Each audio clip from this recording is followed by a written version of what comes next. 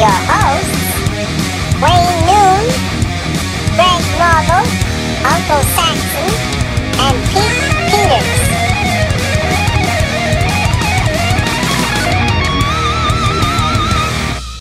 Welcome to Rat Salad Review. Today we are here with Urban Breed. Hello. Hello, everybody. Hey, what's up. Urban? I did pronounce your Oh. name correctly, right? I believe so. All right. I mean, it all depends on where you're from. If you're in Germany, you you will just say Breedy, because that's what they call me. I don't know why. Those crazy Germans, right? well, they they seem to like you know calling everybody names all the time. Everybody gets a nickname. I've never had a nickname in my life until I got to play with the Germans. That's Oh, yeah? all of a sudden you had nicknames. So- Actually, yeah, I think you're, yeah, you're right because uh, one of the other guys on our show, um, Troy, he's he plays in a band, and, and most of his band is uh, German guys, and I think they all have nicknames for each other. yeah. Yeah. I, kind of- think, I don't know, I don't know what they are off the top of my head, but yeah, I remember him saying something about that. Yeah. So, how's it going? Wayne, I call Oh, you well. Pookie. What what what did you say? I say? call you I call you Pookie, and we're not German. Well, that's that's Well, another show. Another Well, show was- for another time. Well, how, how how are things going? They're going pretty good, I think. You know, uh, I got up at five this morning because I had this idea because I've been working on a demo the night before, Mhm. and uh, couldn't quite get it to gel. I mean, it was pretty good, but I wasn't quite happy. At five, I wake up going like, ah, I got it. So I got up and uh, tracked the guitars that I had in mind in my underwear. And let me tell you, the guitar was cold. so you play guitar too, huh? I'm not a good guitar player, no, but I can demo stuff. But enough to to know what you want, kind of. Oh yeah, right? yeah. Oh, that's cool. That's I nice. didn't know And that. for those things I don't know how to play, I mean, then then I just tell someone this is what I want, where I put Right. it on the key. Right. Yeah. That'll That's work. cool. At least that's you know something, not just a vocalist guy. You know. Uh, I really I wanted to be the bass player to begin with, so that's Oh, where really? it started. And yeah, and, and, you know, like pretty much any musician, I, I bet you know you, you'll find that there's a, an instrument in the room. It doesn't matter if I know how to play it or not. I'm gonna pick it up and make some noise. Yeah, yeah, exactly. You can't you can't just leave it sitting there. No, All right. All right. So, um, wow, you've been you've been singing for a long time. The first time I've actually seen you, actually, you know what? We've been uh, longtime friends. I don't think you remember, but uh, long, very long time ago. He probably can't see this, but there's me and you. There's me. Oh. I was very skinny, and there's you. hey, We met at uh, we met at where uh, where was that taken? at the BB King's Club in um, Oh, in Manhattan. so Yeah. then that must have been when we were opening up for Edguy. Then I guess. Yes, yep. That's why I was Yeah. wearing an Edguy T-shirt. Yeah. Makes sense. Makes sense. it's just to make sure that you would remember why you were there, right? Yeah, exactly. but that was a cool show, and that was the first. I didn't even know you guys were on the bill when that show was um, going on. And then when I saw you guys come on, I'm like, oh my god, that's pretty cool because, um, like I was saying on the previous show, uh, I found out about uh, Tad Morose. Um, a friend of mine gave me like a mixtape or whatever, and had that song uh, "Life in a Lonely Grave" on it, Ah, and I was instantly hooked. I, last, track though on the album, wasn't it? um, I, off the top of my head, don't know. I don't think so. I think it was like somewhere in the middle, maybe towards the end. I thought it was the last, but maybe not. I don't always remember. So I'm sure it's been a while, so I'm sure you Yeah. wouldn't remember. But uh, yeah, I heard that and I heard your vocals, and I'm like, oh my god, this this guy's really great, you know. So of Oh, course, and then I had to, yeah, and then I had to go back and listen to all the other stuff and you know all the other albums you were in. So I was a big uh, Tad Morose fan. Yep. that is cool. Yeah. So And how they're was it? still- Uh, They're still going today. So that's, yeah, they are. I'm still listening to them. I got all their stuff except for the new album. I haven't gotten that one yet. But uh, No. so what do you think yeah. about them? What do you think about them now? well, um, they are doing exactly what I thought they would be doing without. Yeah. So that basically means it's a little darker. I, I do like I do like a catchy chorus, and Christer and I we would always have a little bit like that. We're pulling in different directions. I wanted to let's do it a little poppier this chorus and sticks in people's heads, and he went like, no, I want it darker. so Yeah. so so this is exactly where I thought they would be going. Almost exactly. I mean, it's not like I can predict the future and see like this is the, the songs they're gonna write because you know then I could write the songs for them. But no, I, I figured this would be the direction they take. It took Yeah. them a while, but now they're rolling, and they're all cool people, you know. So Yes. So what made you um, leave the band? Well, like I said, we've been butting heads all the time, Mm. Christian and I, about what to do, you know, musically and uh, and otherwise. So really, ultimately, it came down to the fact that I did not think that the songs were good enough that we had for the follow-up to Modus Vivendi, and he went ahead and booked the studio because we talked about it, right?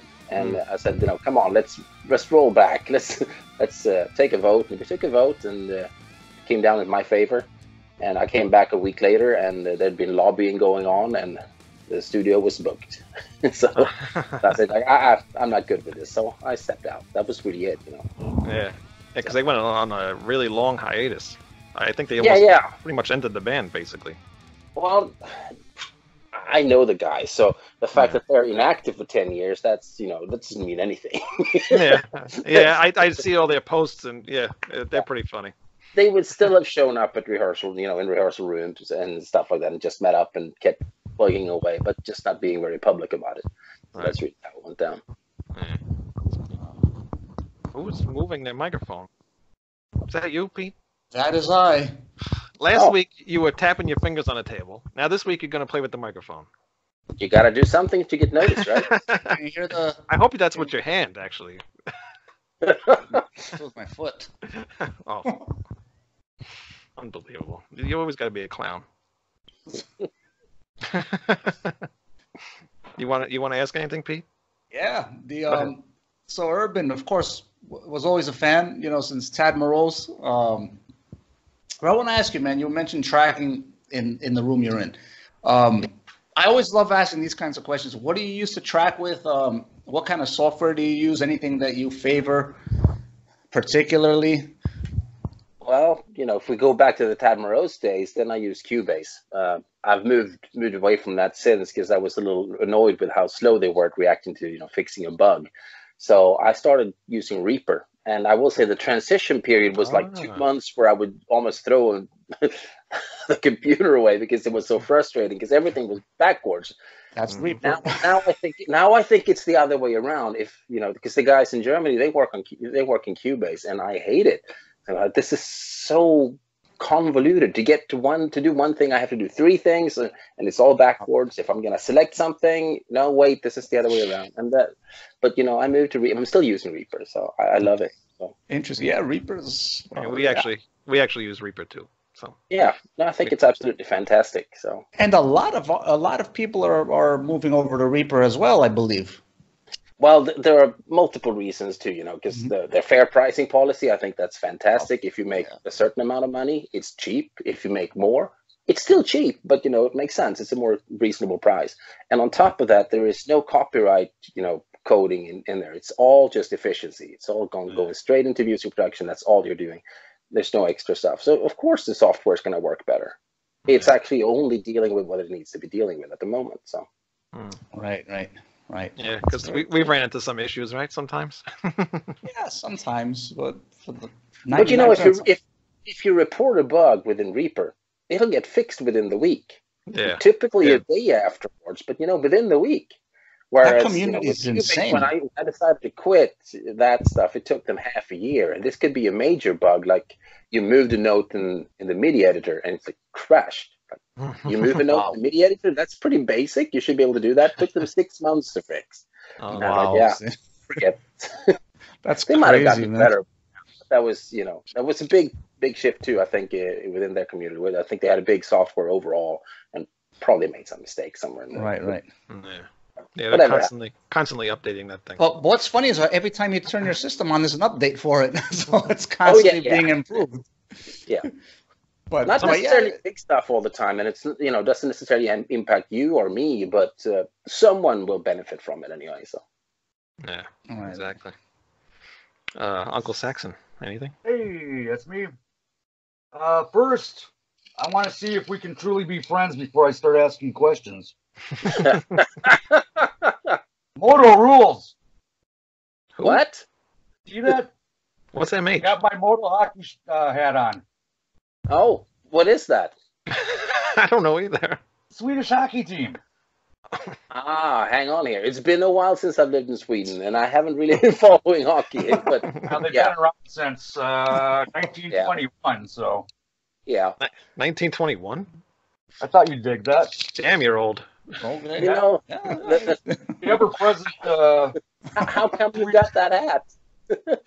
that, He he has everything in his house. If you just think about it, he's probably pulled it up. You'll, you'll oh, he's got everything. So, so if I say Brynäs, you would know what I'm talking about. uh, that's a lady's uh, lady parts, right? No, no, it's it's a it's another hockey team from Sweden. that were closer to where I used to live. So, I don't even know about Modo to be honest. I traded this for Okay. a Monsters of uh, Rock Cruise yeah. shirt. So If that had actually said Modo, I would have known what you were talking about. But MH meant nothing to me at the moment. you know, it's I like, said what? Modo. Yeah, yeah. Anyways, I got But I, I was just reading what it said on the hat. I wasn't listening to you, man. It's, Oh, it's that's all, all it always takes precedence. I see something read, and that's what I'm going by. You know, the printed word is stronger. so. What I can tell, you haven't really released anything in a couple of years. what? Um, well, actually, we haven't really. That was 2017, I think. That was That's the not that long. Yes. It's not that long, but it's too long. You know, we we someone decided that you know people were complaining that we were churning out albums, and someone said that yeah, let's give it a break just to you know show people that we can do it. And, and I'm actually getting annoyed now because we would have had another album out and had stuff going. And uh, on the other hand, it's been fun to be at home. So You're talking about this album right here. Yeah. Yep. Yeah. Magic. That's the one. Got the box Yeah. set. So yeah, so, so we did that album, and uh, you know we've done one album a year for a while, and that's actually a cycle I like a lot because you know you're you're busy enough, you never stop, and you just keep keep things rolling. And uh, since, since you know I'm not the only ones writing songs, you know an album a year is perfectly fine. I guess if you're just you know one or two guys writing songs, then maybe it's tougher. Not so much. You have a whole team, you know. All right, Pyramaze. Uh, Yeah. actually, Lance King lives right down the right down the road from me. Cool. in Minneapolis, so he's uh he's been in the scene around here since the '80s, and pretty much everybody knows him. But that's neither here nor there. My question is, uh, doesn't look like you played on any of their albums. Did you just replace uh, Barlow for the live stuff, or Uh, the, the plan was that I would join the band and we would, you know, do an album and get rolling with everything. But uh, eh, as soon as that stuff happened, uh, Michael got sick. So, Mhm. and and that's like he was the engine, like in the band. So we tried to keep it rolling, but it just fell apart. right? You know, you, you take the administrator out of it all. You know, he was the originator. He was the he was the founding member of the band, and uh, then he couldn't do it because uh, he just burnt out, and uh, it was really serious. So he had to stop. His doctor told him, "You can't do this anymore. Just take a break, stay at home." And so that's what he did. And we tried keeping it rolling, but uh, you know, you take the engine out of the, the motor, you know, out of the car, and then all of a sudden you stop. So Right. eventually the guys got it rolling anyway, but that was without me then because I was busy doing other stuff. But uh, interestingly enough, you bring this up, and uh, I just talked to Michael yesterday because uh, uh, the song that I woke up in five in the morning and had to go retrack some guitars for, I sent the demo to him for you know constructive criticism. So he got back to me and uh, he had a few ideas, and I didn't have a solution for it, so I went to bed and I got up at five in the morning because bam, the idea came in. so So it works. yeah, it, it does sometimes. Um, I've been uh, honestly, I'm. I- I'll be honest. I'm kind of ignorant to uh, your style of music. Um, I've always heard your name. Everybody's always raged about your vocals, but uh, Yeah, they're whatever. all there's They're all wrong. just so much music. Um, but I did YouTube. yeah. I YouTubed the hell out of you for the last week, and I found uh, Nosferatu to be the coolest thing that I heard you sing. Oh, well, that's interesting. it's it's not my favorite thing. I always style, say, so. you know, objectively, I say that yeah, they did squeeze a good performance out of me. so, so they did that, yeah. But So you, uh, did, you didn't like being in, in uh, doing that or what? I know. Because you you were on I the had is the fact that you know, you know, I've been around for a while, so to me, it just felt derivative. yeah. It's like they, they, they saw this song. I want to write a song like this, and then I'm going to write a song like this. And uh, this song is good by this band. Let's write a song like that. And I didn't like that too much. yeah. I mean, it, it, it's fine if it happens by accident because that happens all the time. You know, you Right, just right. write something. Oh, this sounds a bit like this. But when you have the plan, I'm going to write a song like this. Then, I, then I'm not so thrilled anymore. It, Yeah. it feels like you know you're you're working at the factory all of a sudden. You know. Right. Uh, yeah. So, Well, but yeah, like I said, so, I'm so on the outside looking in. to all the so- people out there that love that album, it's still a good album. It's just you know, yeah, different ways of looking at things. Right, right. Yeah. Well, you know, uh, like I said, I'm on the outside looking in, and these two mega power metal fans over here, I haven't agreed with them at all on anything. Doesn't surprise me that uh, you had a little self criticism to that uh, that album. All right, last question. Um, Yeah, there are good. There, there are good songs on there too. So you know, that's oh, I, I like it. It's, it's metal, man. Um, Yeah. What's the funniest thing you've ever seen on the road? How about that? uh, the what the silliest. Yeah, the silliest, the craziest. I don't know. What have I seen? I, that's it's a difficult question, man. I, mean, either, so. I don't normally go around thinking about what goes on on the road, and, and also half the time I'm asleep. that's really that's really what happens. Uh, I miss a lot of stuff simply because, uh, yeah, I got to make sure that I'm in good shape for the show. So I'm, I can't be out partying, and un- unfortunately, I do like staying up late. So what happens is, you know, I'm the last one. No, not the last one. I'm pretty I'm pretty late going to bed though, but then I'll be sleep, still asleep. So by the time I wake up, the bus is already parked and uh, catering is up and running. So I just get up and have breakfast at three in the afternoon. So I miss a lot of the stuff.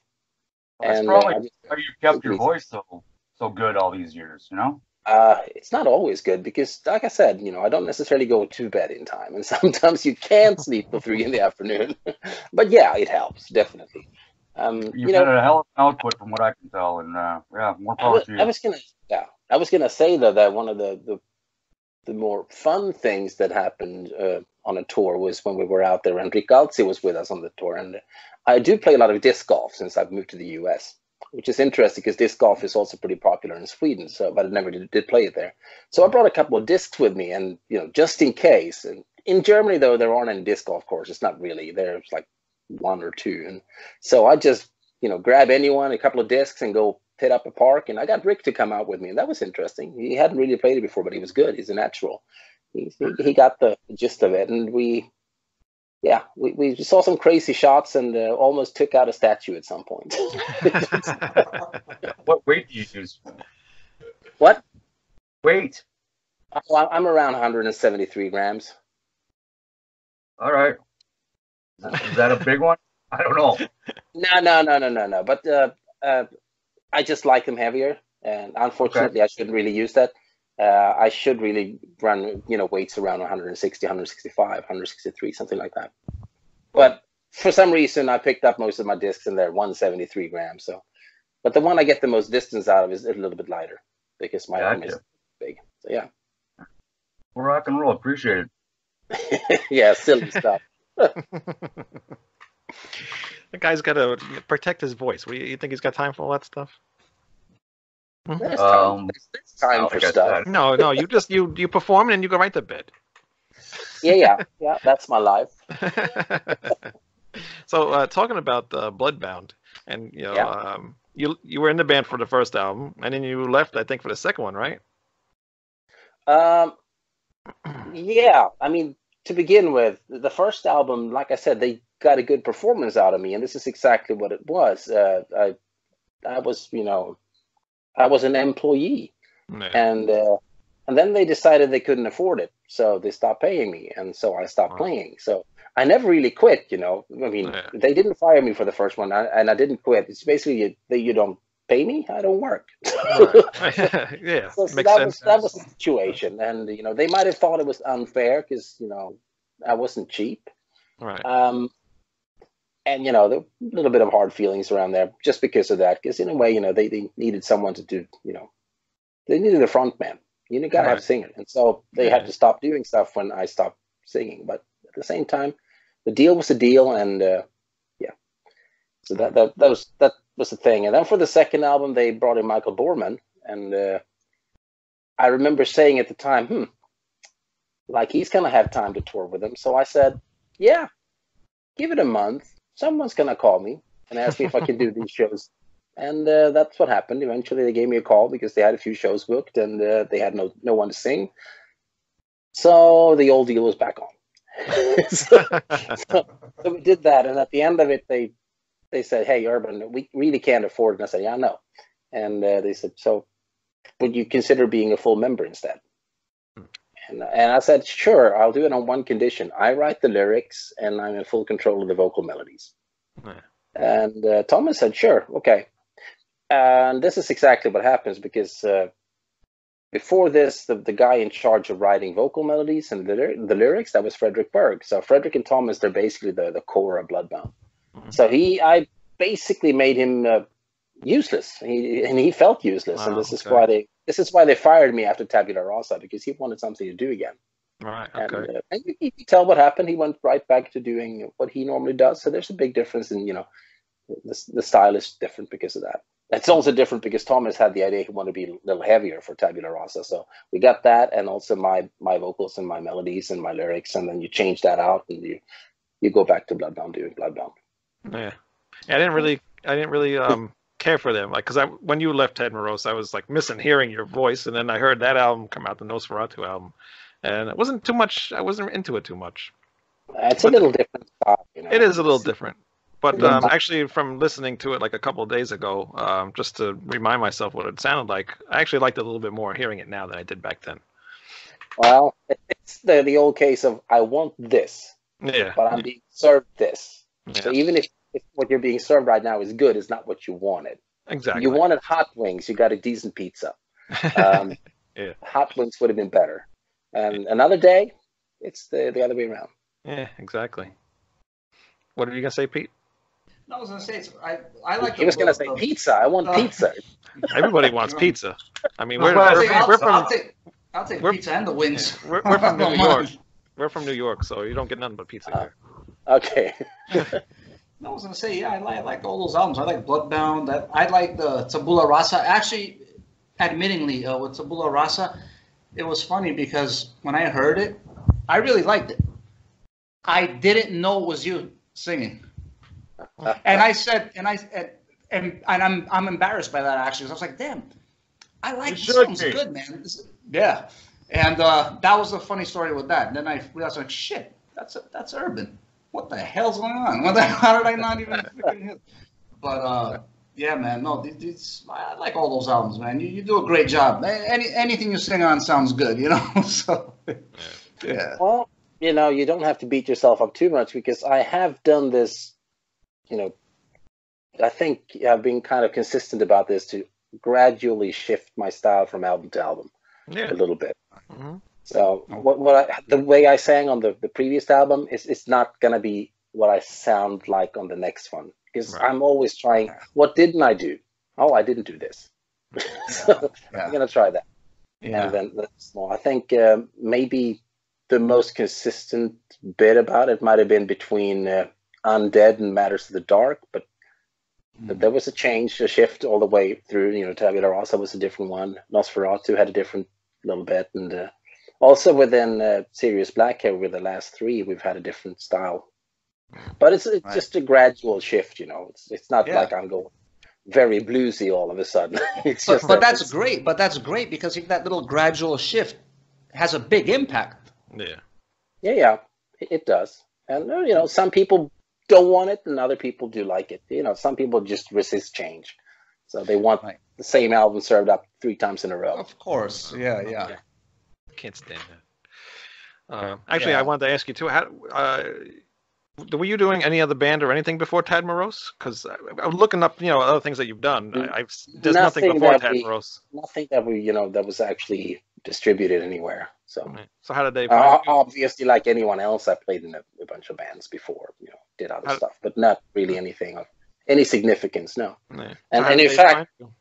Yeah, well, uh, the thing is, it's a little funny, but I'm gonna say that the the fact that uh, Anders gave me a call. That, was the bass player of Tad Morose at the time. He gave me a call, and uh, I hadn't sung for two years. I just said I was gonna quit. Hmm. So, and uh, they Christian actually left for Memento Mori with Mike Wead, and uh, because he had produced an album, and you know Mike Wead liked what he heard, so he took him with him. So they they needed a singer, and Anders remembered, oh, well, why, why don't we check with Urban? Because uh, before Anders played with Tad Morose, uh, there was a, a guy called Rossi. He Mhm. played with them, and he quit. No, actually, he was fired.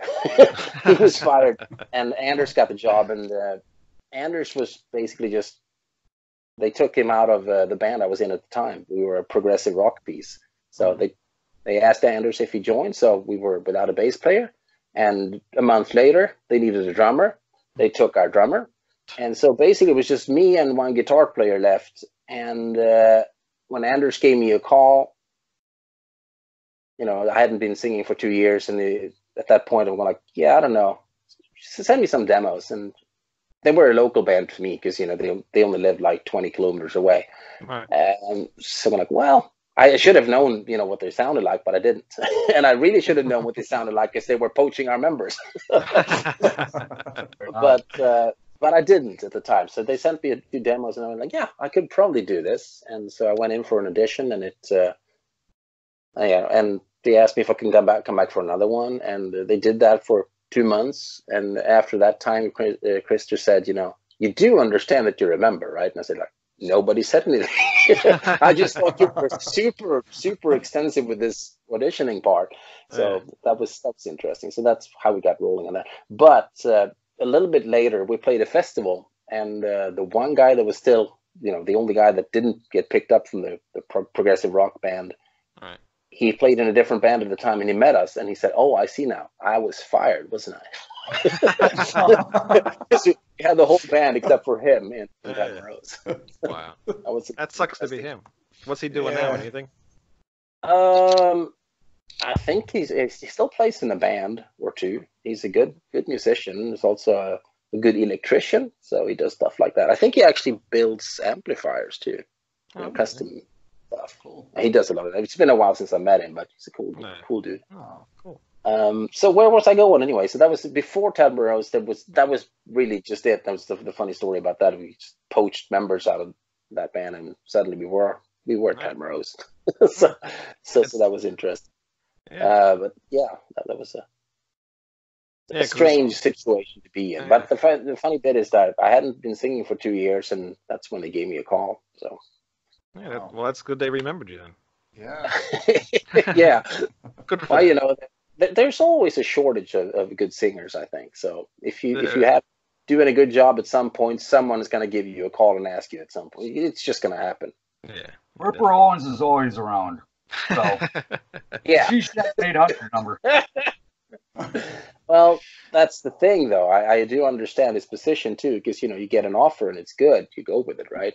yeah, you can't refuse it. Yeah. Yeah. So Now, are you 22 just, years since uh, A Mended Rhyme came out. Mhm. Have you been lucky enough to not need a day job since then, or just Oh no no no no no no! Come on, uh, you know, go go all throughout those years. We we all had day jobs, different. It was always tricky to get to tour because you know you had to get time off and all that stuff. So we we've been juggling with that stuff, you know, juggling that stuff for a long time. Everybody does. And uh, as far as I know, there was just really that last year with the Tad Morose that I I didn't really have to work, but that was it. Hmm. So. And and that that was also I let me point out there was no no way that we you know probably I was probably the poorest member of the band because I didn't do didn't work. Everybody else sort of kept a day job going because you know they had some deal going some some way or another. And I for, for some reason I'm just the kind of guy I'm like I, you know what I'll be kind of poor. I'll just do this instead and focus on it. I can put all the time and effort into it, but then then you're not very rich. But you know it's an interesting life. Cool. so yeah, I'm sure you had to sleep on a lot of couches then. Oh, I've done that. Yeah, that's for sure. Uh, the band Trail of Murder. I never heard it. I never heard about this band until a couple days ago. Oh, it's a Um, shame. You missed out. It's a, it's a good album that we put out. Is it- I'm definitely gonna look it up. Obviously, Yeah. I, I collect stuff, so I'm disappointed. I know. Come on. You should have. You it should have. should be in there. It should be in there. But I'll well, get if you haven't even checked it out yet, you'll be surprised. It's good stuff. Yeah. Because you know, it's uh, it's me and Daniel. You know, we, we wrote most of the stuff for for the Tad Morose part, you know, for the Tad Morose albums. So it's the majority of that. So you'll recognize a lot of elements from there. Okay, cool, Oh, nice. nice. nice. So Same is guitar tone, that sort of thing. What? Same guitar tone. As Oh yeah, yeah, yeah, yeah. Pretty much. You know, not the same because uh, he was doing all the guitars here, not half of them. so, so, uh, but yeah, you, you'll hear that. Uh, it's, it's got that, you know, body to it. So is that band is that band done, or are you gonna put out another album Uh, at some point? Or? No, no, they're they're still doing stuff. It's just that I'm not a part of it. Oh, really? Boy, you leave every band you're in. Well, that's what people say. You, Do you ever stay? you look at it like this. I was in Tad Morose for 10 years. I was in Yeah. Tad Morose for 10 years, to, you know, thick and thin. And uh, then when I got fed up, that's the problem, of course, because then you don't really have a home. Right. And uh, so you do one thing and it doesn't work out. You do another thing and that also doesn't work out. But you look at it like this. That's what's going to happen, you know. If if at one point you leave your family, you're going to bounce around for a while before you find a new home. And it took me a while. Hmm. So, and of course, heard a band I'm, I'm- I'm actually quite happy.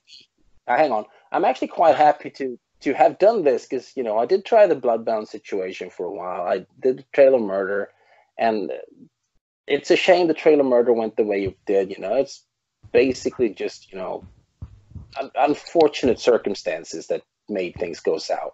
You know, Right. And uh, then you have the Project Arcadia, and now Serious Black. And so with Serious Black, it's you know I've, I've found finally found a home where uh, I can work and just keep going, and everything is you know there's a purpose behind everything we do, which makes it Right. uh, a bit more sustainable than anything else I've done for a long time. Yeah. What were you saying, Sax? Um, have you ever or will you ever put together a band specifically to your liking? Oh, I- Exclusively, pretty much pretty much everyone you talk to if they're a musician they've they've got this little thing in their head going like who do i want? I want this guy and i want this guy. And and then it comes down to this this one little thing. Can i finance it? Right? and it's not just that. So first you can i finance it? And are these people going to be happy with falling in line? Because Mm. you know most of us we've got a bit of an ego once you're going. If you ha- if you take anybody worth their salt you know then they're, they're gonna gonna want they're gonna want to have a big input you know and so Right. maybe it won't work anyway so. Right. who knows? At some point i'm i'm, I'm always thinking you know i want to put out one album doing one specific thing because it's got nothing to do with what people would expect me to do. Or maybe they actually do but they haven't heard me do it yet. Uh, and then i'm always thinking you know what? I do that and it's just for my own gratification. Is it going to be worth it though because you know mm. I, I've I've heard this music in my head already, and so I, I know it I know it can be done. But if mm. nobody cares about it, why should I actually finish it? You know, and put it out there. It's a good question. Well, because you care about it, and you Well, get yeah. your foot I on do a lot of stuff. I do a lot of stuff I care about already. That's the thing, you know. Mm. Uh, and just you know, just because it falls outside of the parameters of what I'm doing at the moment, and I can't really incorporate it. Should I do it just because I need to hear it? No, I don't. Not not necessarily, because that would also mean that I'm not doing what I can be doing. That actually that I know there will be an outlet for. Hmm. And so it's that it's that time, money, you know, effort spent. You know, is it worth it? Life's short, so we should all do everything we want to do, all right? But then you you do everything you, you think of, and then suddenly nothing gets done well. Yeah. So Right, right. you guys, it's got to be done right, which means time and effort. Again, you got to put in the hours. What what direction would that album be? Oh, that is the biggest problem because if if I'm just going like uh, genre stylistically, I would completely and totally want to do a progressive rock album, not metal, Oh, really? progressive. Yeah, progressive rock. And but the the problem here is all the musicians that I'm going like, how would I work with this guy? They're all different people. They wouldn't really do that. Mm. so Interesting. Urban, Urban, who are um, from your entire musical career and everyone that you've worked with? Do you have any favorite musicians that you've worked with, or maybe uh, I don't know, maybe was anybody more of a pain in the butt than anybody easy to work with, or any favorites that you have? pretty much everyone will have like good sides and bad sides. Right. So, like I said, you know, for 10 years I butted heads with Krunt, with Christer from Tad Rose. And uh, that said, he's awesome in other respects, you know. So, so he's fan- he's a fantastic person, you know. It's a there is you will never find a more fair person, more honest. Wow. He will not rip anybody off ever.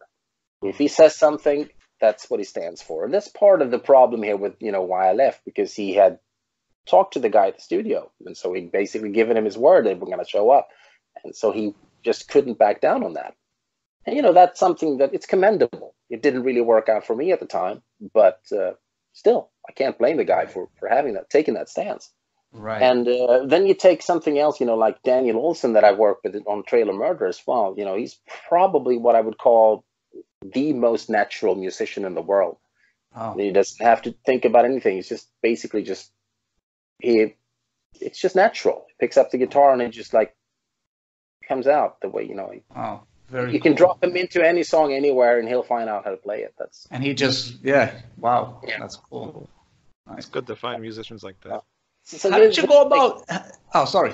Yeah. I was just gonna say that basically a follow up to that, and, and then you take other people like Rami Ali, for instance. Now that we just you know we called him up because we needed somebody to step in very quickly on the first tour of the Serious Black, and such a beautiful human being, so wonderful, also a great drummer. But like I said, that beautiful human being, you know, just everything settles down when he walks into the room. Everybody, that's just harmony flowing out from the guy. You know? Wow. Wow. So, so, so that's another thing you should look at. You know, there are so many different Yeah. things to consider. Wow. Such great, such great traits. Wow. Yeah, but How did you go about meeting Bob Katsionis? He, he was on the last two albums, this one and the previous one. Uh, uh, the last two, I believe, right? yeah. How- Well, how, uh, did you? Was it somebody that you wanted to work with initially, or how did you guys? Uh, that that is funny because here's the thing. Uh, I saw Firewind perform at ProgPower in Atlanta, and I looked at the stage, and uh, there was one guy that stood out, and I said, I don't remember who stood next to me. It might have been Andrew Atwood of the Scourge. Uh, probably not at that time though, but it could have been. I don't really remember who it was, but I, I turned to the side and I said, "That's the guy I want to work with." wow. And so, you know, I didn't really think it would happen, but I said, that's the guy I want to work with. A number of years later, we're heading out on the first Serious Black tour again, you know, and uh, Roland just couldn't make it. You know, the, the he didn't really understand that we were going to go on this extensive a tour at that point in time, and he couldn't. So he said, I'm sitting this one out, and it turned out that it would be a permanent thing. But he, he was going to sit it out. So I said, hey, I'm going to give Bob a call. And so I gave Bob a call, and uh, he said, "Sure, I can do it." And he showed up. Wow. Uh, now, how did I have Bob's phone number at this point in time, though? That's easy because I was uh, I just released an album with uh, a Bulgarian band called Project Arcadia right before this, and we were shooting some videos, and Bob also does that. So he shot and directed those videos in Bulgaria, and that's where we met. So that's the first time we actually met. So I met Bob when he when we were doing this, and so by the time we needed someone for Serious Black, and this was on really short notice. I think it was like one week ahead of time, you know, maybe something like that. And I gave Bob a call, and he just shows up. We go in and rehearse, and we roll out on the road. That's how that went about. Very Small cool. world. Yeah. Yeah. Wow. that, that's really cool. Wow. Well, you, you answered my uh, Roland Grapow uh, question already. Damn it. yeah. well, here's the thing, though. I can tell you right now. Yeah, I totally understand Roland. Uh, I think Mario had misrepresented the truth. He's Mario is an expert at doing this. so Oh, yeah, yeah, because he he's he's he really wants to get the deal done. You know, he wants to he wants the sale to work, and so he'll just like yeah, he'll, he'll tell you what he thinks you want to hear. Okay. So yeah, yeah, we'll, we'll be touring, but not that much. Yeah. And then when the tour comes around, it's like, uh, but this is a lot. We're like, yeah, you said no. I, I know, but we had. yeah, yeah. It, it's uh, it's always justified with Mario, but the thing is, if you know that you know you listen to half of what it says and you go like, half of it might be true. Am I fine with half of this being true? All right, I'm gonna say yes. if you're not fine with that, say no. That's funny. And um, Thomen left too, right? So after Yeah. the uh, first album, I, I think he did like what a, a first a couple shows or something. I act- And gone. actually, I I had to give him the call where I, I, I hate doing this. I, I actually had to call him and say that, dude, you're fired. Really? And uh, yeah, yeah. Well, the reason is uh, for the first tour, Thomen has back problems, so right. he couldn't show up. And it was not just that, you know, back problems, messy home situation, everything, just too much stress. So this is why Rami came in, and this was with three days, three days notice before the tour kicked in. Rami Yes, I I remember seeing all that stuff. Yeah. he helps us out, and we had a great time on tour. And uh, after that was done, though, you know, we, we had festival gigs and stuff like that, and yeah, Thomen would call and cancel like the day before. Oh wow. Said, this doesn't work. I mean, I understand. Yeah, Thomen is awesome. He's a fantastic guy. I absolutely loved working with him on, on in the making of the album, and also just hanging out with him. He's he's a great, great, great dude. But Mhm. that was the one side that it didn't really work for us. Yeah. You know, and the the the, the place where he was in his life at the moment, uh, it wasn't compatible with us touring. Mm. So you know, we just had to move on. Yeah. And it's a shame because great, like I said, a great, great person, fantastic. We had a lot of, a lot of fun. I re- really do get along with him. So Yeah. Yeah. He was a huge influence on me from uh, back in the Blind Guardian days. He's quite a distinctive drummer. You'll know if he's been involved. Oh yeah, So, definitely, definitely. No, he's also a good songwriter. He has good, good ideas. oh really? Yeah. I have no idea. I don't even remember him writing anything for Blind Guardian, unless I just don't realize that. But Oh, I don't know. Um, you know, it's not necessarily that ev- everybody gets, you know, public credit all the time right, either. yeah, yeah, yeah. Um, but you know, he basically wrote uh, 60, 70 percent of my Mystic Mind, and Oh, wow. roughly the same. And he, it was uh, his basic idea for the title track on the first album. Hmm. So uh, I just had to write the lyrics and maybe do some structural change to it, and uh, just did minor changes to the melodies. They, they were good melodies too. So you know, he's a good songwriter. Yeah, well, that's cool. No, usually drummers just go and play drums, and that's it. You know, Well, not don't do necessarily. They don't do much. to- we can go back to the Tad Morose days. Uh, before I joined the band, the, the principal songwriter had been the previous drummer. I was just done kidding. I'm a. I'm a drummer too. Yeah, well, you know, so you know that you don't do anything at all. But, you yeah, know, seriously, there are plenty of drummers out there that you know have, have got a, a good sense. Because as a drummer, you have to have a really strong sense of structure, yeah, and that I think that helps. right. And I, I always say that if you start out as a drummer and pick up another instrument later on, you're better off than starting out picking up another instrument and moving to the drums. Starting with the drums is probably the best option. Yeah, yeah. Because- start off, uh, you understand the importance of timing in a different way. Yeah, exactly. I started off a guitar, then I, I gave it up, and then I heard. I was at a, a guitar practice. I heard this guy come into the room playing drums, and I'm like, "Oh my god, I want to play that." So ever since then, I was like 10 years old. Ever since then, I've, I've playing drums. Yeah, I bet your parents were thrilled. Oh, they didn't say my parents didn't care. They didn't. They they bought me the drum kit, Yeah. you know. So Yeah, well, I think you know my parents didn't have the best of time either because you know practicing metal vocals isn't exactly quiet. So, yeah, it's true. well, they they they, they were they were absolute champs about it. They put up with it.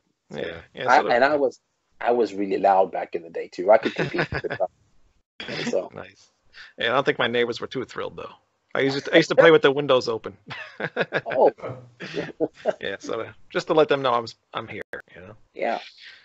Um, uh, Project Arcadia, you mentioned that before. How did you get involved with that? Because they had an album out before you joined. So what happened? Yeah.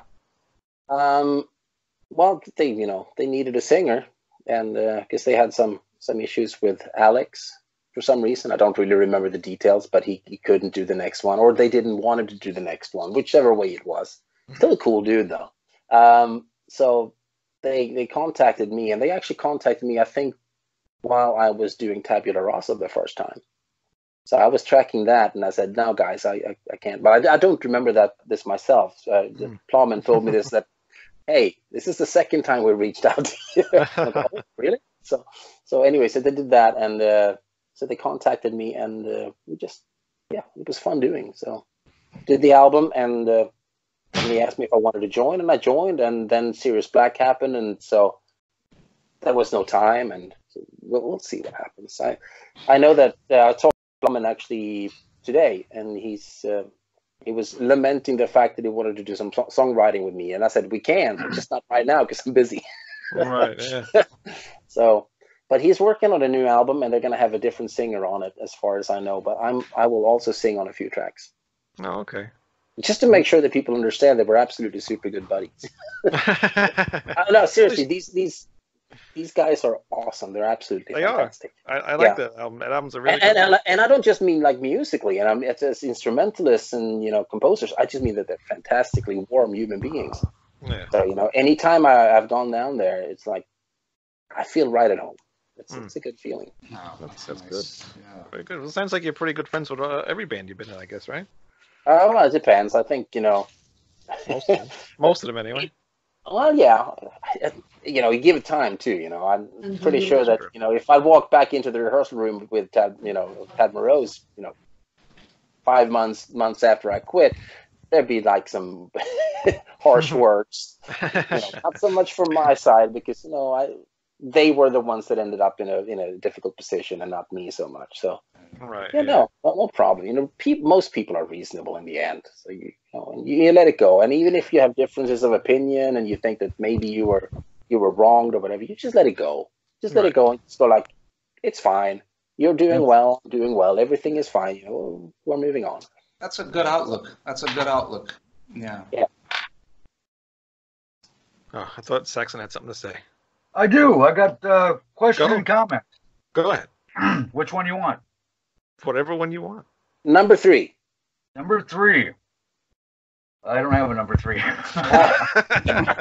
I'll give I'll give you the comment first. Uh, the vibe I'm getting off you is you're uh, you got an intelligent mind and a and a kind heart. So I, I wish you prosperity and peace, love, and happiness. And my question is, uh, any any uh, anything coming up for you stateside anytime soon? Um, not as far as I know. I mean, we there have been some talks about you know maybe we can join this tour and maybe we can join this tour, but in the end, it's a little too expensive for us, generally speaking. That's that's what I hear from Europeans all the time. Well, I'm, I'm you know, it's not that we can't afford to go on the tour, but it's just that we're kind of a you know, what's the payoff going to be? Right. It, it's it's such a big country, you know, and and the only the only reason why it kind of works for us is because I'm here, so you have one member already on this side. Mm-hmm. so, so so so there's that. But you know, that's such a small thing in the whole equation anyway. You got to fly everybody over, and then then we're also used to a certain standard of touring in in Europe. You know, where we you know everything is we're being taken care of. You know, and there's, there are hot meals served, and we have showers, and we have all this arranged. And everything's two hours away. Yeah, and then you come over here and nobody cares about you. Just you know, you're like you're the scum of the earth. That's what the, the venue will think of you. It's like what? this is not what we're used to. So, so there's that little you know thing to get over to. You know, any band that's you know from here that's touring Europe will tell you it's like Europe. That's where we want to tour. Um, this is not to say that you can't have a hard and really difficult tour in Europe either, because that's also possible. And it, you know, it comes down to whether or not you have a good tour manager and good pla- planning and preparation, and you have have good contacts with all the promoters. If you have good good contact with them, and you you know they expect you to come back, well, of course they're going to treat you well. Sure. So, yeah, but no, sadly, Uh, no plans. My friends in Bewitcher just went over to uh, over to Europe for a summer thing, and they were psyched out of their minds. I think it's their first yeah, time in Europe, so they're uh, yeah. they're in for a treat. I know that. Well, you know, and, and on, on top of that, you know, you go to Europe when you're on tour, you know, you, you stop, you drive to the next place, you step off the tour bus, and you, you can walk around the town, you know. Right. It, you know, everything, you, you can walk everywhere. Whereas you tour the US, you have to have a car if you want to see anything. So in Europe, you can go see all the sites on foot, pretty much. So, you know, wherever you go, you can check out a new city. And so when you tour Europe for the first time, you know, it's a blast. It's, it's awesome because you can see so many things. Uh, sure, it wouldn't have to be, you know, 15th time. You can still have a blast, but, you know, you've already seen some of the sites. So you're going to go, I don't know. I'm I'm just going to hang around the bus today. I hear you. what else you got to say? Oh, I thought you had more stuff. I'm good. Okay. yeah. Extensive answers, you know, kind of Yeah. stops What you from asking more questions. I'll agree with you, man. Do you have anything, Pete? Yeah, like Urban. Um, as far as jobs, aside from, of course, you're doing your music, how often do you do um, paid jobs for laying down vocals for? Well, first of all, do you accept uh, offers or requests from local bands or just that are not yet, for example, signed or not on any uh, labels and whatnot? Do you take up those types of jobs? Like if you were to be requested to sing on an album and obviously they paid you for your time. I don't get too many offers, uh, but when I do, it's typically it typically happens when I have an album in the works. That's when people come out of the woodwork and go, "Can you sing on this? Can you do this? Can you do that? Can you do?" Oh. And uh, so even if I wanted to, I could. Hmm. And then once you start turning jobs down, they're not going to come back. So the problem is solved. Yeah, yeah. So yeah, there are there are a few things, few few times where I've I'm where I said like, yeah, I want to do this, and uh, then just things happen in life and things get complicated and it just falls through. And those those are the times where I'm like, oh, sorry, people, I shouldn't have said yes to begin with. But you know, Right, right. sometimes you just want to do things, and uh, yeah, it, it's probably better to say no than to say Right. yes. Of course. Uh, Yeah, there's- But it happens. God, I just had uh, this question on my mind, and I forgot. I do this every time. Anyway, I'm just gonna skip that question. Uh, You're just uh, pretending like you have questions lined up. no. I, I, I did, like and then you're prepared. I did, and then you kept going on and on and on, and then I just It's totally my forgot. fault. It's my It's- so fault. it's your Thank fault. you. Always, always blaming someone else. It, it is true. It's my show. I can blame whoever the hell I want. You I might as well be the singer, right? What's I have a solution for Might as well be the singer you blame everything on. Yeah. That's what happens. We get the blame. Uh, What- now we blame the bass player, right? Exactly. What, what's your what's your solution? My solution is once you think of a question, write it down. See? Can I There's a tell you some of my favorite songs? Can And I tell on you that- some of my favorite songs over this album? on that note, good night, everybody. I gotta get my favorite songs out of the way. All right, go Yeah. ahead. Go. I was like, I love the album. All right, album's awesome, and I got them right here. All right. Nobody can read The that. songs that I absolutely absolutely love: "Burn Witches Burn," "Lone Gunman Rule," "I Can Do Magic," "Mr. Night Mist." Man, I liked everything. "Witch of Caldwell Town," I went crazy for. "Just Kill Me" was great. "Newfound Freedom," just awesome songs, man. I like the whole album. These songs really, really did it for me. Well, thank you. I'm, I'm really happy that we share the opinion that this is a good album because, you know, when we, we had done this, I said, this is the best album I've ever done, if I've ever done. And I knew people would, they were all going to say, no, no, no, you did this and this, this album's better. And I'm going like, not from the way I see it, you know, this is the best thing I've ever done. It doesn't mean that it's that it necessarily has the top song on it. It doesn't mean that it necessarily has my top performance. I just think that overall, the whole overall quality was the best thing I've ever done. And also, I, I love the sound of the album. We, we Yes. went, you know, we, we went to great lengths to make sure that we had a bit more of an old school type of situation in the production than, than we normally would. So, and I think it shows, you know, I, I, I love this, this, the sound. It's like, uh, uh, I would say it's a more grounded, a more real album than the previous two that we've done, you know, with you know the way the drums sound. And of course, this is a different philosophy. I love this. Bob hated it, which is basically why he's not with us anymore. Wow. So Really? Yeah. yeah, it's a production value. Bob also runs his own studio in, in Greece, you know, and he, he felt like he felt that was old, man. Those those drums are old, and I'm like, that was the whole point. There's warmth to it. It's like you know, Yeah. yeah, I wanted to You tell you that. I was, I was going to say two words organic and warm. That's what I wanted to say. And that's That- what the sound I got out of it. Well, I, Yeah. I thought it was fantastic. I texted Wayne when I heard it. I told right Wayne, I said, look, this Yeah. album fucking kicks ass. Seriously, man. This album's fucking Yeah. awesome.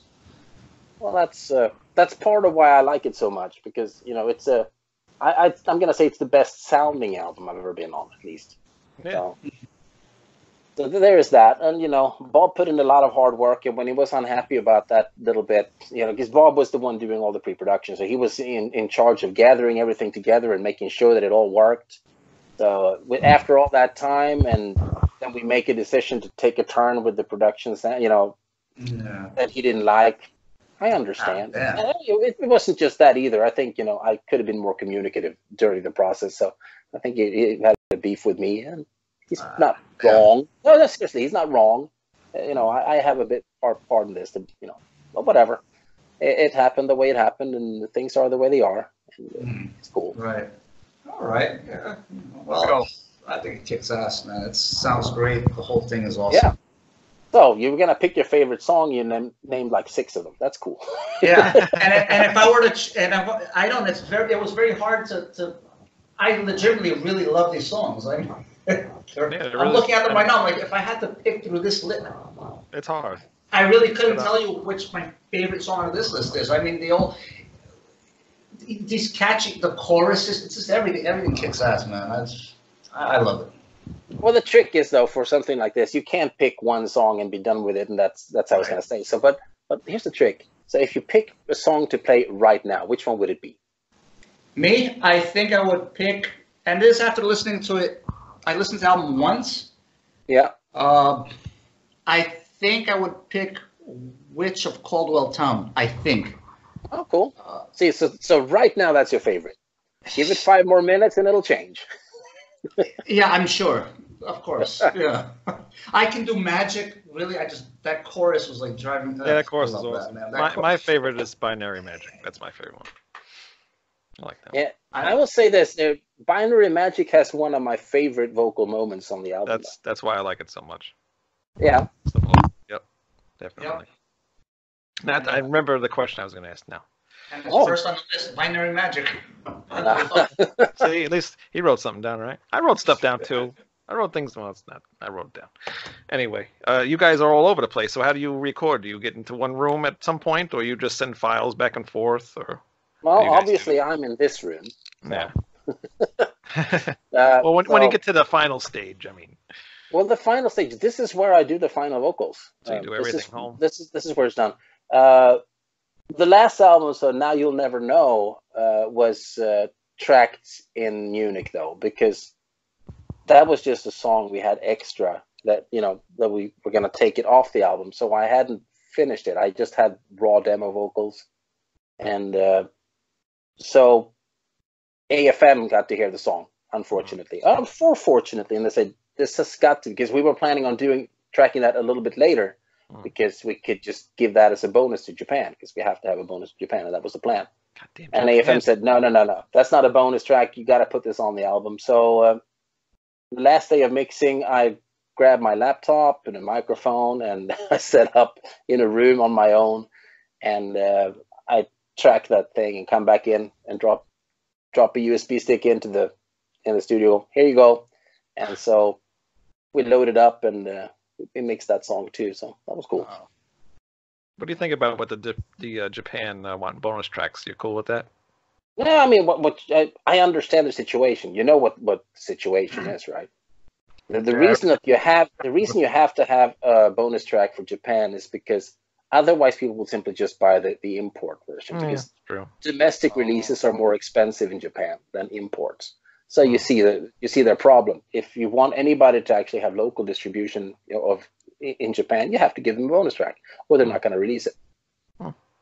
Not to mention I- Japanese metal It's as, fans are the sim- best. it's as simple as that. Yeah. I didn't know that. Jap- oh. What'd you say? Japanese metal Yeah. fans are the best. Yeah, Japanese metal fans are the best in the world. They might very well be. Mhm.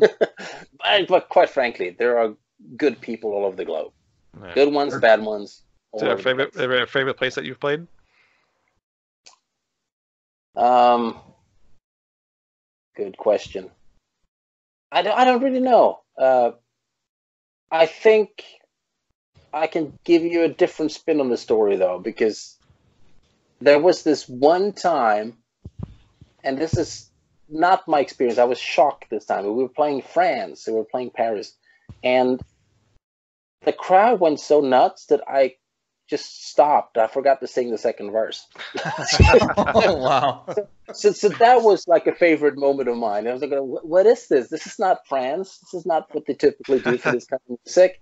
And uh, it was awesome. And uh, I really, seriously, I forgot to start the, the second verse. I was just looking at them like it was so beautiful, you know. Like, Yeah, yeah, yeah. Does it has that ever happened? You know, before or after that? Forgetting no, the not, lyrics. not like that. No, not like that. I, I, I, I keep, I've, I've forgotten lyrics all the time, but I, I completely forgot singing the whole verse. I'm just standing there looking. You know? Yeah. What, what do you What do you do when you forget lyrics? You just mumble something. I make up new words. Just make. eh. Uh, some sometimes you mumble, sometimes you make up new words. It, it all depends, you know, or or how late you realize that you messed up the words. You know, right. Yeah. You could be like Uh, Vince Neil and just stick your microphone into the audience. Yeah, Make I used to be abs- I used to be absolutely terrible with the, the lyrics, but uh, I I will say and you know give myself a pat on the back. I've gotten way way better since I joined Serious Black. Wow. Yeah. We, well, I, I've also changed my uh, stance and opinion about rehearsals quite a bit too. I used to say that ah, hate it, hate it, hate it, hate it. Now I'm like, it's really necessary, man. If you put in the time, the result is gonna show.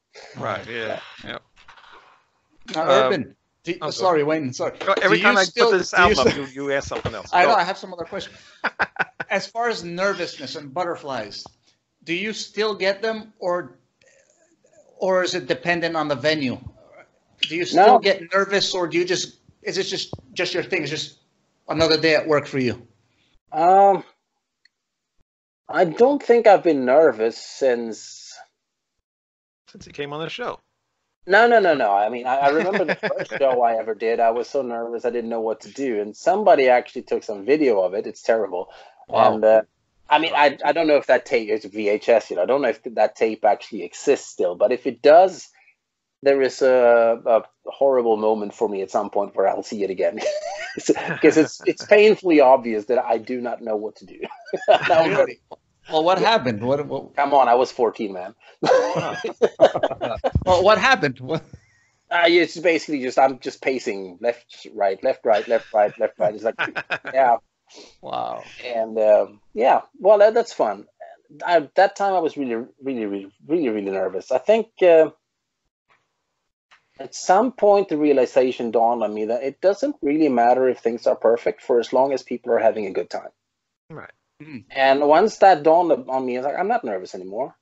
Is if anything really bad happens, it's not really bad. That's that's just the thing. It's not really bad. It's actually a cool moment for everyone to share. Mm. So, you know, I mess up, something happens. I mean, I, I can fall straight in between the kick drums, you know, and I've actually done that. Yeah. That's not a, that's not a big That's deal. not a good. Yeah.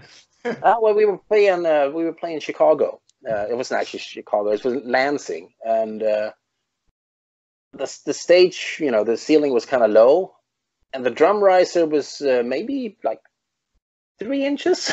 and Wow. and I took one step backwards, and I hit that little thing, and I fell, and I landed smack dab in the middle, right between two kick drums, and. Uh, so I'm lying down singing, and I'm getting up, giving a smile and a thumbs up, and we just roll on. like it never happened. Yeah, but it was fun. I still remember that moment, and this is why I'm I'm not nervous for any show. Is Yeah. it basically any mishap that will happen will turn into a really fun memory later on, unless Right. you of course lose a limb or something. But Yeah. but that hasn't happened so far. yeah, No. not- yeah, you never have an 18 inch uh, Stonehenge come down and uh, be threatened by little people getting stomped on it. Yeah, um, I think that's never been an issue.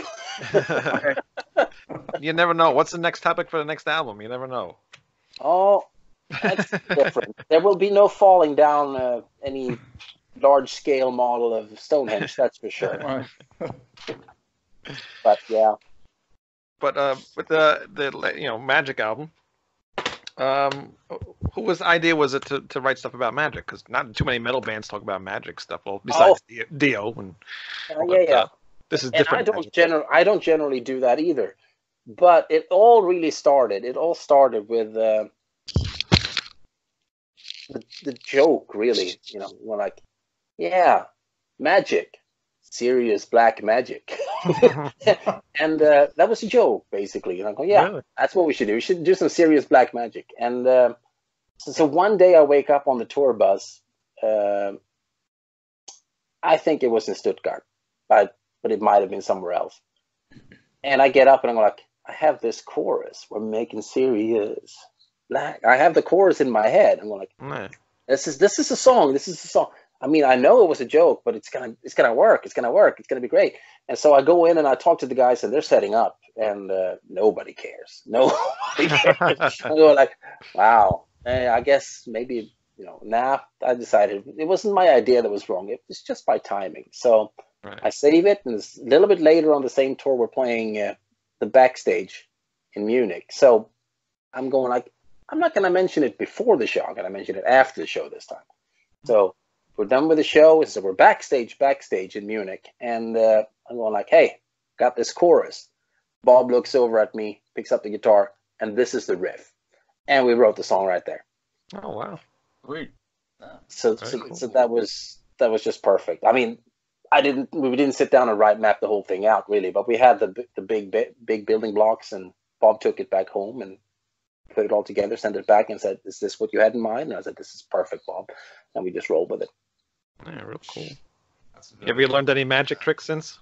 Oh no, no, I should, but I, I, I see you. You wear the whole getup and everything on stage, right? Yeah, yeah, yeah, yeah. It's really warm, let me tell you, but Yeah. it's fun to do. Looks like it. And Yeah, it's And cool. unfortunately, I'm not a magician like that. I should perhaps practice a few things, but no, it's not really. It's um, there's not much room for anything like that in our show. We, we could do some big stuff, but yeah, no, Yeah. Did you hear? Uh, did you hear David Copperfield has AIDS? What? no. Yeah, apparently he was doing magic. Oh, Oh damn!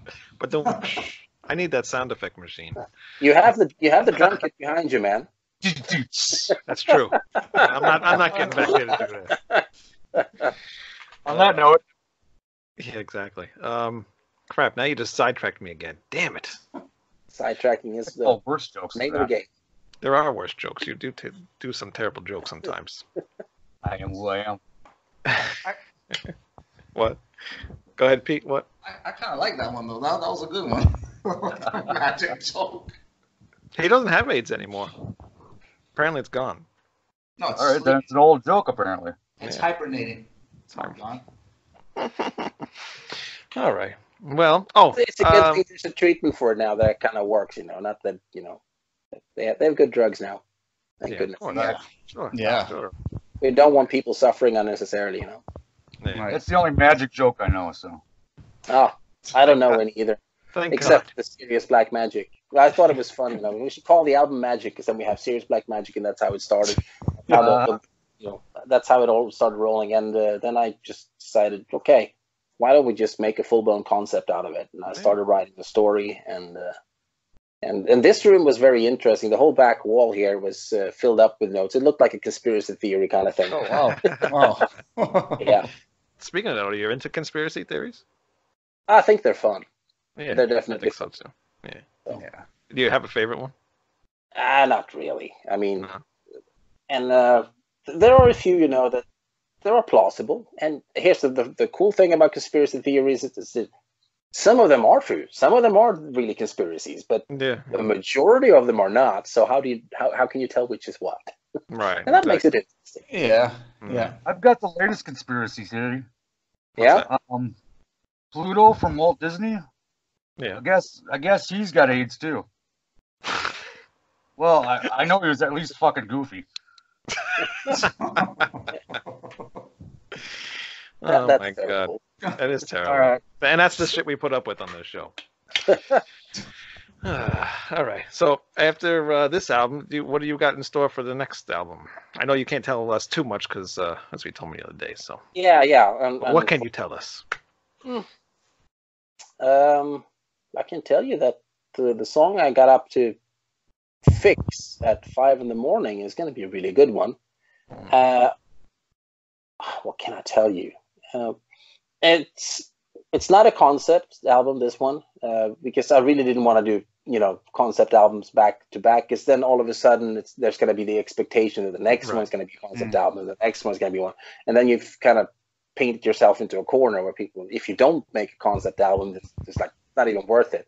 Yeah. And uh, I'm gonna go the you know the fact that something is a concept album doesn't make it any better or any worse than something that's not. So Right. let's not do two two back to back. But uh, we do have a little bit of a central theme, but there's no overarching story. There's yeah, I'm not sure that this is gonna show up on the album, but there's uh there, there are three songs that are, that tie in together, and if they end up on the album, that's kind of cool. If they don't, well, then they don't. They don't. They don't. You know.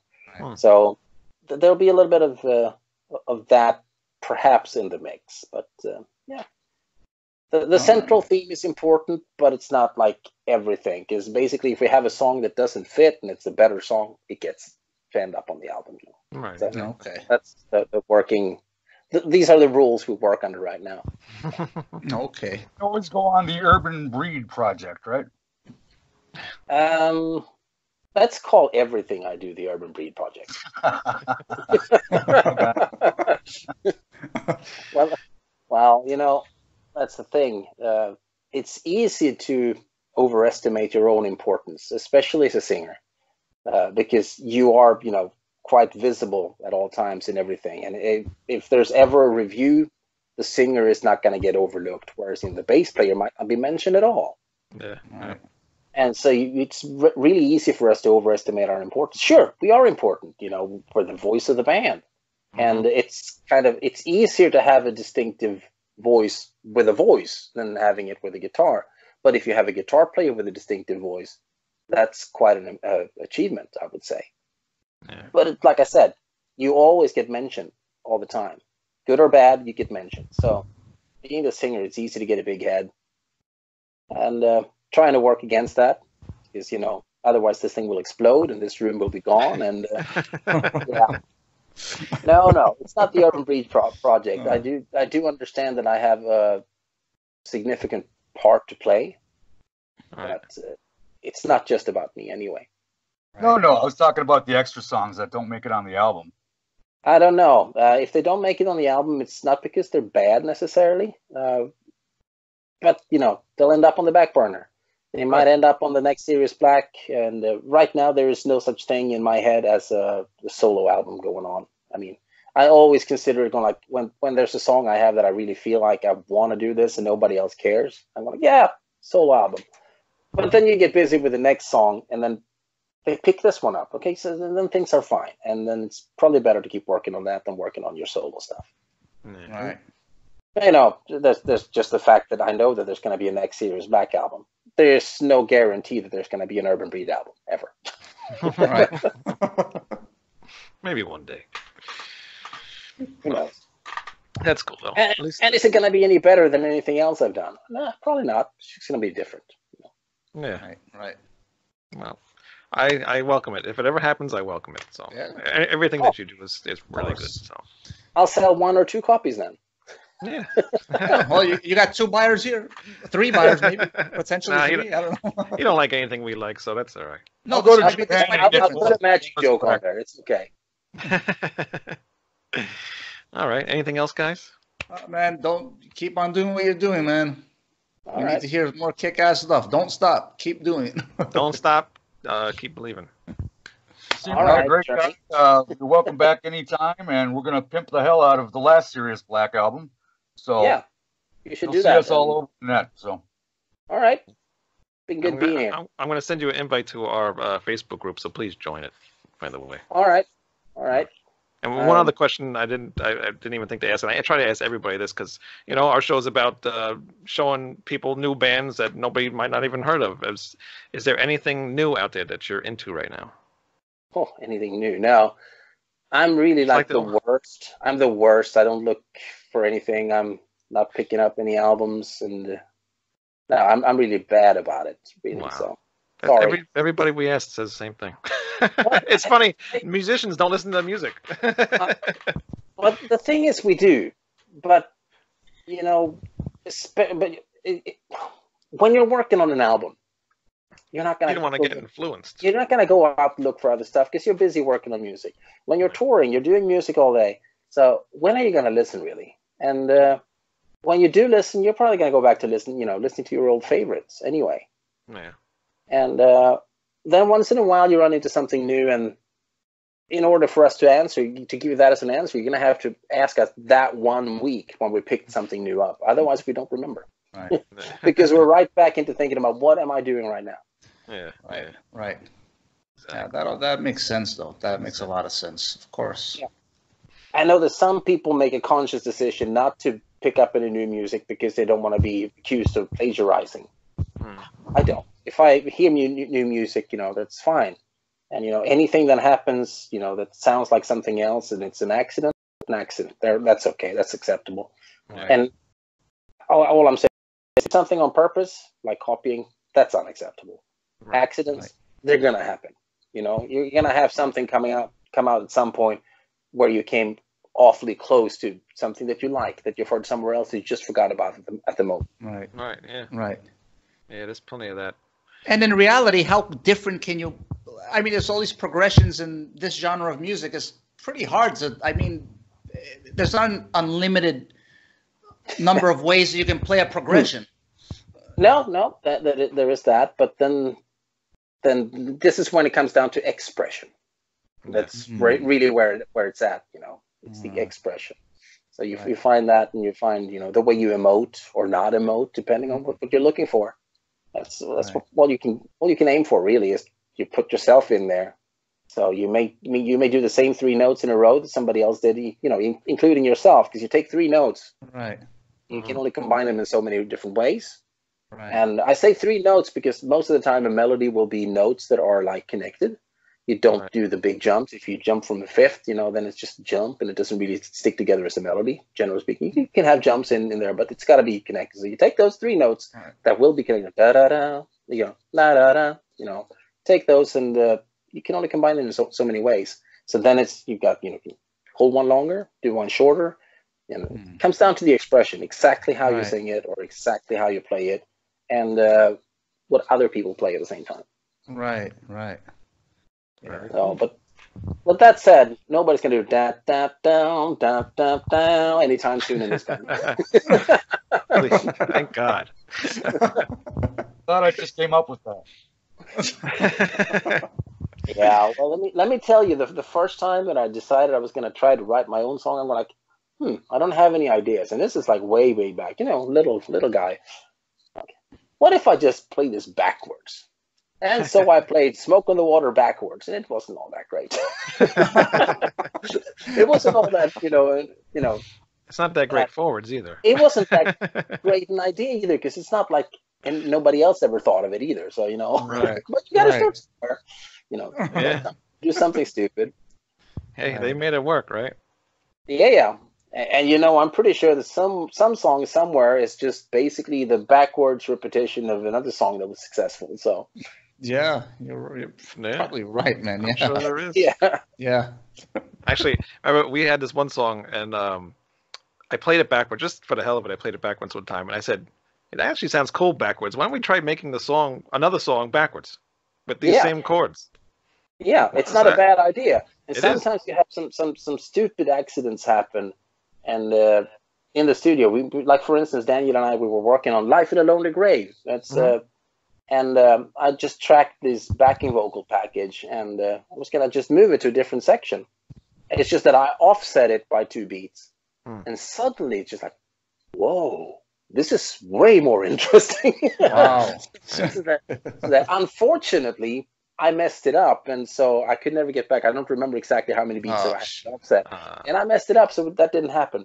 But anyway, uh, that, that's still Daniel would you know chide me about that for years afterwards. You should have, you should have, Wow. should have. And yeah, I'm sorry, I'm sorry, man, I'm sorry, man. Don't works, it still works, but it's not. It didn't have that moment, you know. And Right. Oh, accidents yeah. are great. Uh, people will tell you in music all the time, happy accidents, you know. yeah, exactly. You, you, you meant to play a phrase one way, you made a mistake, you went, oh, wait, that sounds cool. Yeah. Wow. Do it again. Yeah. All right. Well, I appreciate you coming on the show. No, it's been And, fun. uh, yeah, it's been fun, and um, hope you come back on again when the next album comes out, and uh, we can talk about that. yeah, yeah, that sounds Yeah. like a great idea. and uh, don't leave anywhere. I just want I'll close the show and then uh, I ask you one thing real quick. Okay. So, all right. Well, good night, everybody. I think we're all done here, right? Yeah. Yeah. We're good. What is- Urban, nice, nice talking to you, man. What's every, Thanks for What's everybody on. wearing? I'm wearing I'm wearing serious black shirt. Oh, nice. I'm, I'm wearing a black shirt. A black. You're always wearing a black. I What is think that? this is a Marillion shirt. A Marillion? Yeah. Oh, shit. Minnesota North Stars. No idea. the odd man out. Yeah. He's As yep. usual. all right. Well, that's a good way to be. Yeah. All right. Again, Keep thank you. with that. Again, thank you very much, and thank you everybody for watching. Oh, and please, I never end the show this way, but because I always keep forgetting, but please subscribe to our show on YouTube, on iTunes, everywhere our show is, Stitcher, just everything. Please, Spotify, uh, Twitch. I think we're on too sometimes if I feel good enough to uh, do Twitch. But please subscribe to everything. Graffiti on your nearest bridge. Yes, please put put our logo up on the bridge. we need we need you people to support us and share our show and uh, let people know that we're on so they can see our cool guests like Urban Breed and uh, last week we had uh, Timo uh, Tol- Tolkki on, right? That's how you say his name. Yeah, it's, it's Yeah. so And uh, yeah, so please share the show. All right, that's it for tonight. See you guys next week. Have a good night, everybody. Bye. All right. Wait, before we leave, Uncle Saxon has a story for us. Hey kids, everybody gather around. It's time for Stories with Uncle Saxon.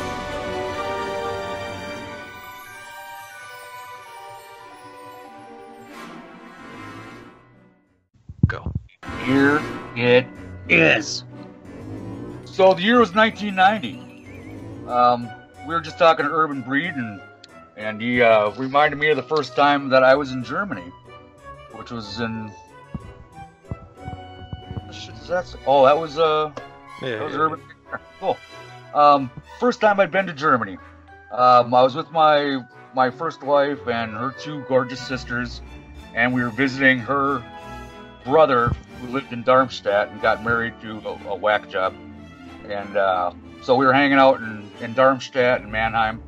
Um, my uh, brother-in-law Brian got us tickets to go see ZZ Top, uh, Bryan Adams, and Winger at this huge outdoor festival in Mannheim. So on the way there, we Winger. stopped. We got uh, like six of these uh, Stein things with the, the metal and ceramic pop tops. Mm-hmm. Yep. You know, those things are like 15% alcohol, and they're like this big. we each drank six of those, and we're kind of kind of weaving in and out uh, as we're going into the into the festival grounds. And every say 100 feet, my brother, thank you, man. Every 100 feet or so, um, somebody would set up a little stand in the in the main thoroughfares between the cars in the car in the car lot. And they uh, That's me. they- that's you, everybody. Um, they would sell shots, and but this is back before the euro, so it would be like one mark a shot, one Deutschmark for a shot of tequila, and then you walk 100 feet, one Deutschmark for uh, a shot of rum. Well, there had to be eight or ten of them on the way into the show before you got to the gates to go give them your ticket, right? Mm. So, in 1990, I was uh, 21 years old. Wow, a long time Not that ago. it mattered in Germany. You can start drinking, you know, once you have a heartbeat.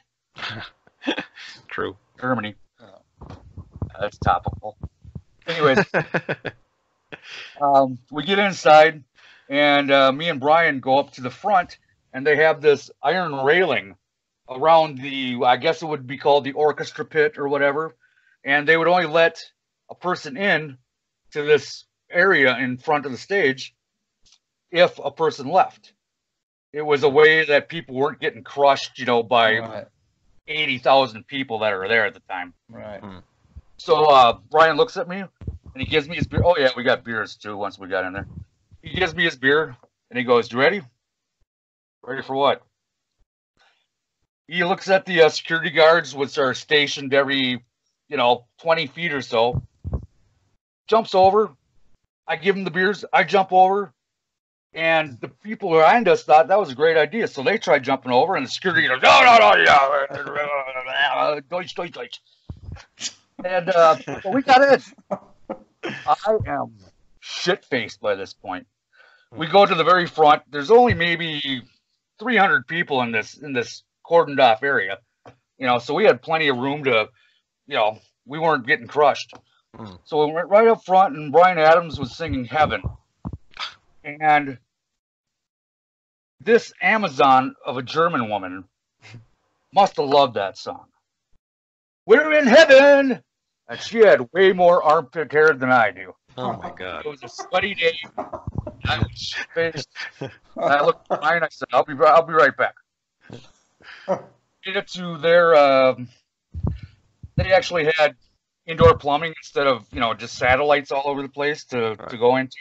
Yeah. So I went in there thinking that I'm gonna hurl. I don't want anybody to see me hurl. I'm 21. I'm a stud. I'm a rocker. so I go in. The poop is like that much overflowing off the Oh, top. Oh my god. Ew.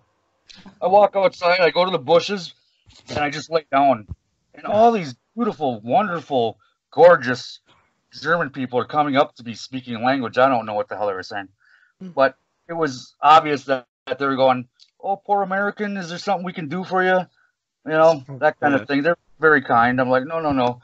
Somehow I found Brian's car, which had to be parked three quarters of a mile away. You know what I mean?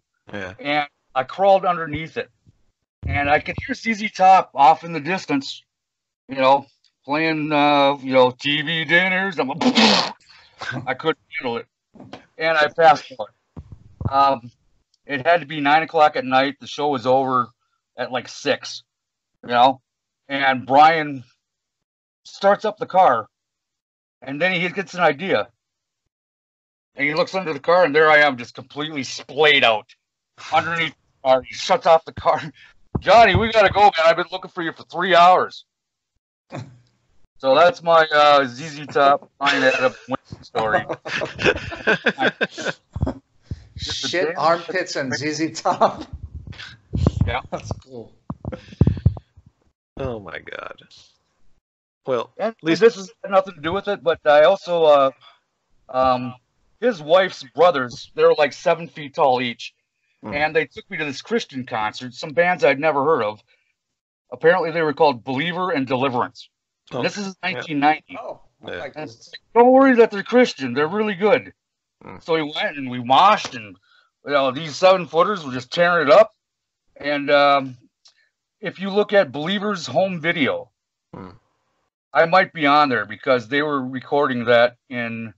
That's actually what it's called, Believer's home video. That's like the title of the video. Really? And uh, I've never seen it. Hmm.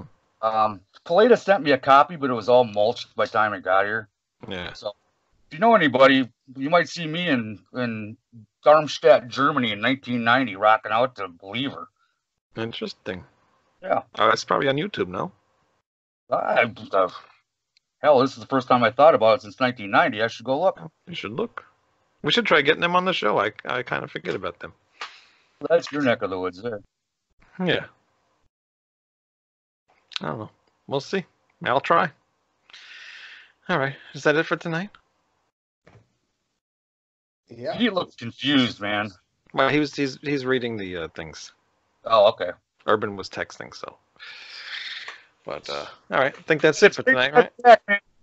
What? It's great to have Pete back. It Oh is. yeah, man. Nice to be back. Yeah, that's the problem, man. Scheduling is scheduling has been a nightmare, you know. Uh, that and amongst other things. So, Mm. in any case, but uh, yeah, no, it's definitely fun, man. Nice seeing you, bro. Well, All right. Hopefully, Greg will be back next week. Speaking of Greg, was that his fucking doppelganger we just had on as a guest? Anybody else? he looked a little Dragon's- similar. He looked a little similar to Dragon. Yeah. Talk a little. well, we wish him Oh, well. one's dragon, by the way.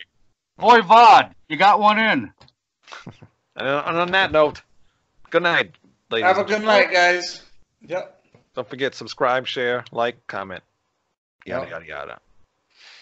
All right. Bye bye. See us. Bye.